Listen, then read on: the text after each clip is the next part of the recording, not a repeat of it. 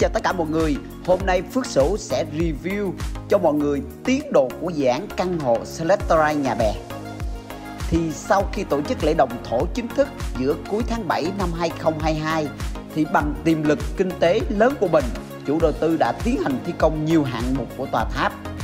Cập nhật đến thời điểm hiện tại là khoảng tháng 6 2023 Dự án theo đất Selectorai vẫn triển khai thi công những cái giai đoạn sàn bê tông phần móng của tòa tháp thì gần đây nhất chủ đầu tư đã có một email cho tất cả các anh chị mua căn hộ Selectorite nhà bè là sắp tới là căn hộ Selectorite là đang trong giai đoạn là thi công dự án được triển khai phần móng đúng lộ trình và đặt ra là dự kiến phần móng sẽ hoàn thành vào quý 2 2023 à, như vậy thì gần như chủ đầu tư thông báo là sắp tới thì à, quý anh chị cư dân sẽ thanh toán dòng tiền tiếp theo à, trong vòng khoảng 1 đến 2 tháng nữa thì theo cái lịch thanh toán của chủ đầu tư Keplerland đã đưa ra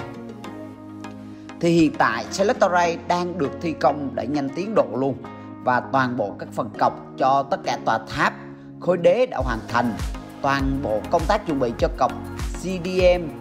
cừ laser phục vụ đào đất tầng hầm đã gần như hoàn thành. Móng khối tháp dự kiến sẽ được hoàn tất trong quý 2 2023 như mọi người đang nhìn thấy thì Phước Sửu đang bay lay cam thì thấy được cái tiến độ gọi là khá nhanh, khá thần tốc của dự án này phong thì trong vòng khoảng à,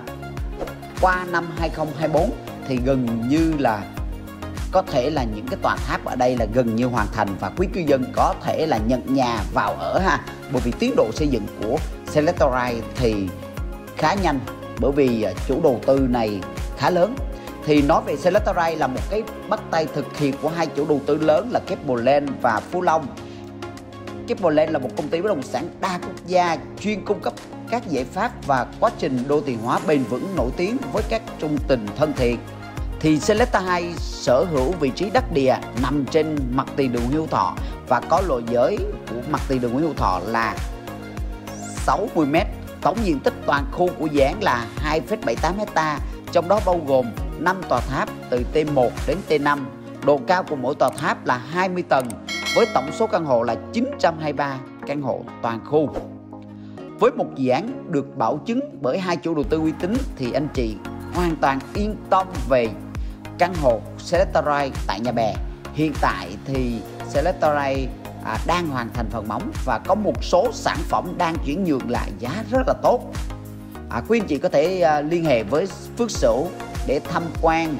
Sa Bàn vẫn còn đặt tại tòa nhà Bevergas và mình có thể tham quan công trình thực tế à, tại dự án. Quý chị cần à, mua lại Selectorite và những căn hộ Selector hay thì à, inbox ngay cho Phước Sửu nhé để cập nhật nhiều thông tin hơn nữa và những cái biệt thự tại khu nhà bè. Thì quý anh chị theo dõi kênh của Phước Sửu để cập nhật nhiều thông tin và những tiến độ video à, mới nhất tại nhà bè. Đặc biệt là dự án GS là một dự án khá lớn à, 350 ha của chủ đầu tư Hàn Quốc đang có à, những cái sản phẩm như là shop house, nhà phố, biệt thự đang cần bán với mức giá cắt lỗ lên đến 35 40 phần trăm à, quý anh chị cần thêm thông tin inbox ngay cho Phước sử nha. Xin chào và hẹn gặp lại quý anh chị ở nhiều dự án tiếp theo.